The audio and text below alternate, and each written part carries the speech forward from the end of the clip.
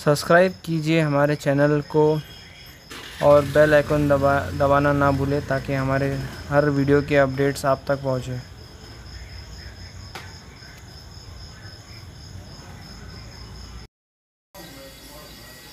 अस्सलाम वालेकुम वरहमतुल्लाहि वबरकातुहू। एट्थ साइंस ब्रिज कोर्स का दूसरा दिन, सरगर्मी नंबर दो। आई समझते हैं जड़ें, तना, पत्ते, फूल। हवाला। जमात हफ्तुम सबक नंबर दो, नबातात की साख रफ़ा सातवीं जमात का। नबातात की साख रफ़ा सबक नंबर दो, इससे इसको लिया गया है और आपको रिवीज़न करना है। आमोजिशी माहसर, मुशाहदाती खसूसियात की बुनियाद पर नबातात के अज़ा के खसूसियात रफ़ाल बताता है। जड़, यहाँ जड़ की शक्ल दी हुई है। किस तरह से असल जड़ होती है? सबसे नीचे जड़ टोपी, फिर जड़ का असास जड़ बाल नज़र आ रहे हैं, असल जड़ और उसकी सानवी जड़ें। इस तरह से यहाँ पर बताया गया है कि इब्तदाई जड़ से बनने वाली जड़ की नशो नुमा ज़मीन में होती है। ज़मीन से लगा हुआ हिस्सा मोटा होता है और बदतरीज, मखरूती होकर नोकदार हो जाता है। सहारे के लिए ज़मीन के अंदर बढ़ने वाला ये हिस्सा जड़ कहलाता है। जड़ों की किस्में, जड़ों की दो किस्में असल जड़ और रेशेदार जड़। कुछ नबातात की जड़ों से ज़मीन में सानवी जड़ें निकलती हैं, जो ज़मीन में तिरछी पड़ती हैं। जड़ें दरख्त को सहारा देती हैं। इस किस्म की दरमियानी मोटी जड़ को असल जड़ कहते हैं। तो इस तरह की जो जड़ें रहती हैं, यहाँ पर जो नज़र आ रही है और इस शक्ल में भी दो शक्लें हैं तो इसमें एक असल जड़ है और एक रेशेदार जड़ है। रेशेदार जड़ में एक साथ ऊपर से बहुत सारी जड़ें निकलती हुई नज़र आ रही हैं। ये रेशेदार जड़ें बढ़ने वाले तने से निकलने वाली रेशानुमा जड़ों को रेशेदार जड़ कहते हैं। मिसाल गेहूँ, मक्की, प्याज, दो दाला नबातात में असल जड़ होती है, जबकि एक दाला नबातात में रेशेदार जड़ पाई जाती है। ये करके देखें, अमल करने को कहा गया है। कांच की एक बर्नी में पानी लें। इस बर्नी के मुँह पर एक प्याज इस तरह रखिए कि उसकी जड़ें पानी की सिमत में रहें। आठ दिन निशुनुमा पानी वाली जड़ों का मुशाह कीजिए। इस तरह से आप जब पानी में रखेंगे प्याज को तो यहाँ जो रेशेदार जड़ दिख रही है इस टाइप की जड़ें आपको निकलती हुई नज़र आएँगी।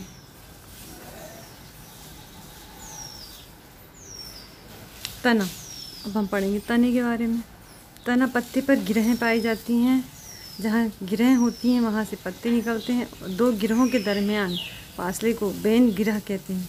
पत्ते के, तने के सिरे को कली कहते हैं। यहाँ तना दिया है। इसमें शक्ल में आप देख रहे हैं।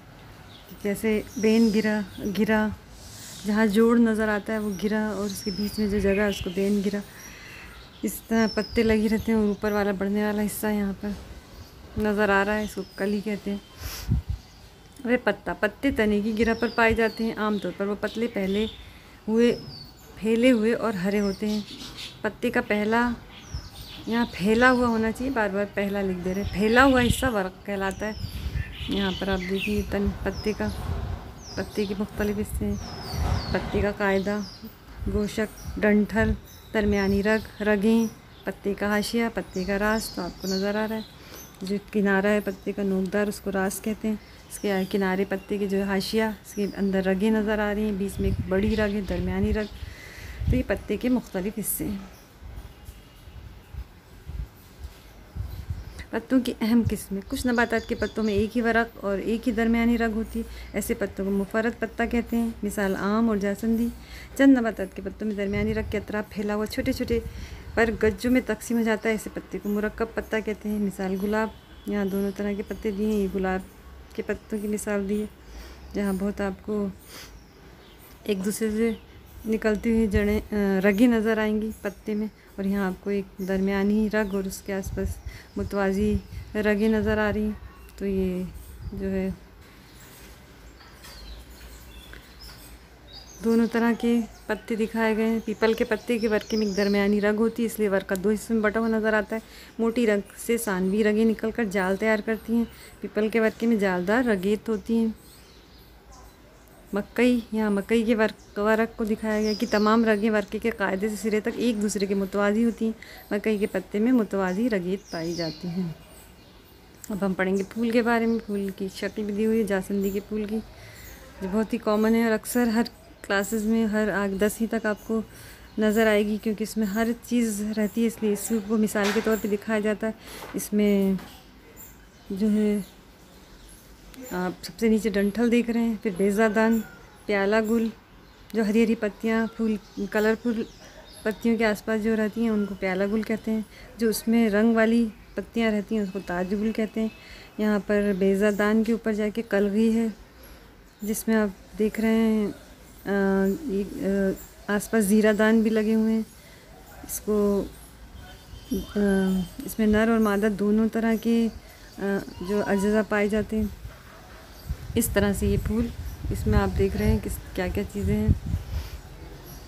फूल के चार हिस्से हैं, नरकोट मादा कोट प्याला गुल ताज गुल प्याला गुल फूल जब कली के हालत में होता है तो उसकी पंखड़ियाँ हरी, हरे पत्तों से ढकी होती हैं। ये गुलाब प्याला गुल कहलाता है ताज गुल ताज गुल पंखुड़ियों से बना होता है, मुख्तलिफ़ फूलों, मसलन गुलाब, मोगरा, सेवंती, जासंदी, कनेर के ताज गुल की साख का मुशाह कीजिए।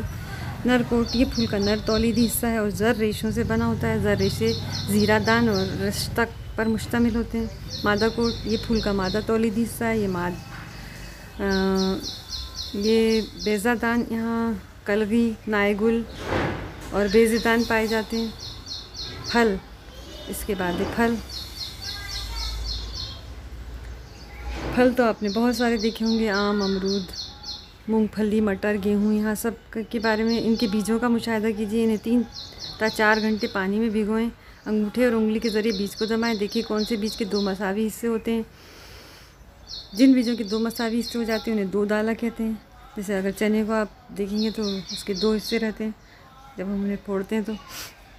और जिन बीजों के दो इस मसावी हिस्से नहीं होते, उन्हें एक दाला बीज कहते हैं। जैसे भुट्टा, मकई के दाने हम जब निकालते हैं, उसको हम दो दाला में नहीं कर सकते। दो दालें तकसीम नहीं होती तो वो एक दाला है आइए मशक करें। पहला गैर मुतल लफ्ज़ पहचानिए। मूंगफली, मटर, सेब, मकई। तो आपको इसमें से क्या अलग नज़र आ रहा है?